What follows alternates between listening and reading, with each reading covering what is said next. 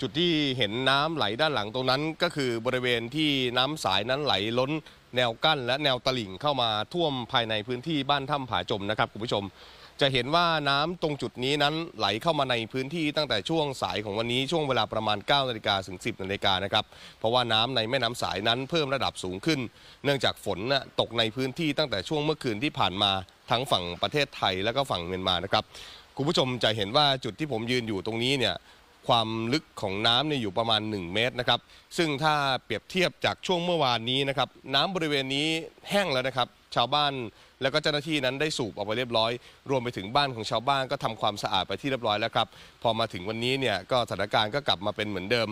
และจากจุดที่ผมยืนอยู่เข้าไปสักประมาณ 200 เมตร ตรงนั้นคือตลาดสายลมจอยครับคุณผู้ชม ทีมข่าวไม่สามารถเดินเข้าไปได้เลยนะครับ เนื่องจากว่าเจ้าหน้าที่บอกว่าระดับน้ำภายในนั้นสูงกว่า 2 เมตรแล้ว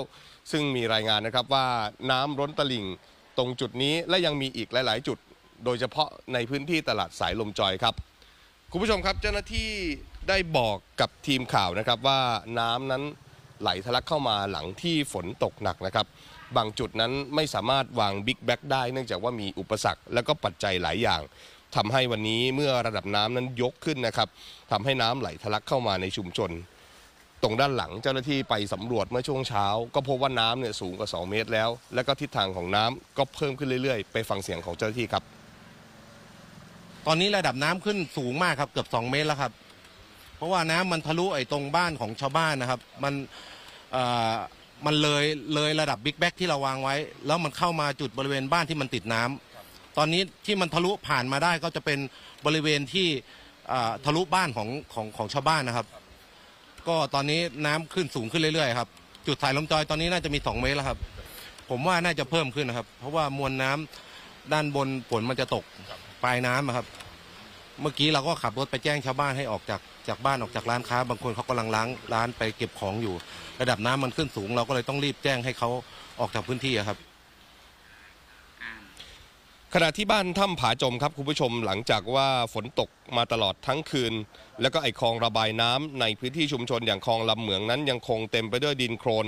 น้ำไม่สามารถไหลตามปกติได้ก็ไหลทะลักผ่านสู่ชุมชนทำให้บ้านหลายหลังที่ก่อนหน้านี้ทำความสะอาดไปเป็นที่เรียบร้อยแล้ว วันนี้อาจจะต้องกลับมาทำความสะอาดใหม่หลังน้ำลดอีกครั้งครับครับคุณผู้ชมครับทีมข่าวมาเฝ้าสังเกตสถานการณ์ที่นี่เกือบ 3 ชั่วโมงแล้วนะครับ ก็จะพบว่าสถานการณ์น้ำที่ไหลล้นตลิ่งเข้ามาในชุมชน ยกระดับขึ้นอย่างรวดเร็วนะครับ ปัจจัยหนึ่งก็เนื่องจากว่ามีน้ำล้นตลิ่งเข้ามาหลายจุด บวกกับน้ำที่อยู่บนภูเขาในพื้นที่อำเภอแม่สายก็ไหลลงมาที่นี่